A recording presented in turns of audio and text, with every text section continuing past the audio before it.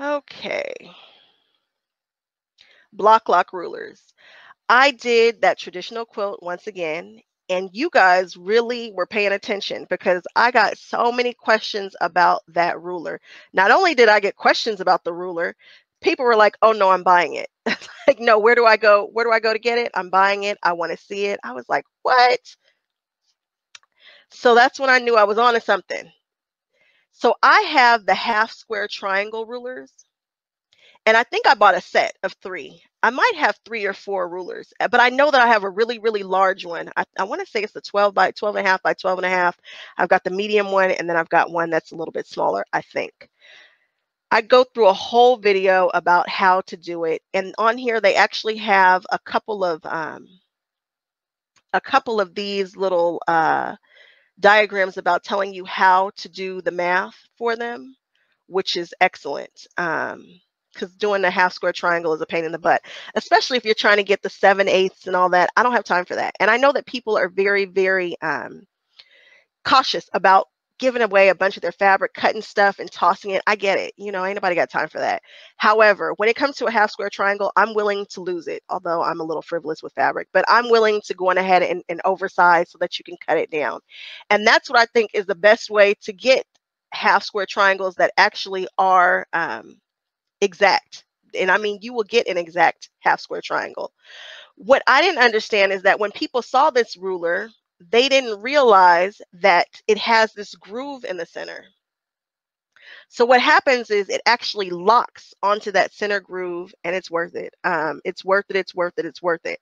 Something that I want to do. Oh, cool. Memoirs of a long armor. She was just talking about the half rectangle ones. I haven't done a half rectangle yet. I'm here for it. I'm ready. I want to try it. I like the way that they look. I like some of the designs that you can get with it. And so the half square rectangles, I'm going to try those too. But if you do anything with the half square triangle, like anything, I suggest you do it with this ruler. It's just going to make your stuff so much more accurate, so much more beautiful. Um, I saw it demonstrated at Road to California with Deb Tucker because she is she's a good saleswoman. I mean, if she's going to show it to me, I'm probably going to buy it. And she just made it look so easy. So if you want to see a demonstration, go ahead and check out my um, one of the videos with the traditional quilts that I did. It's the blue and and like it's the traditional ones. You'll see them. They stand out because they're the only two traditional quilts that I have done thus far. And they are in that three yard quilt series that I've been on right now. So I'm taking the words that say Bloc Loc on there and I'm putting it on the light side. And then I'm pulling it down and I'm trimming it off. And that's the whole process for that entire stack. You put it down, you lock it in place, you trim up, you trim across. Rotate it, pull it down, you trim up, and you trim across. Okay, let's look at it close up you see that it says Bloc Loc on the side. The way that I pressed my seam was to the dark side, to that darker side there. So I put this down and I pull it and you see how it locks and it pulls that fabric. Love that. So I'm making sure that each square is more than three and a half. So it's more than three and a half, but it's got those tails hanging over the sides. So you're just going to chop it up, run up the side, and then go across the top. You see how it's more than three and a half on the left hand side and more than three and a half on the bottom.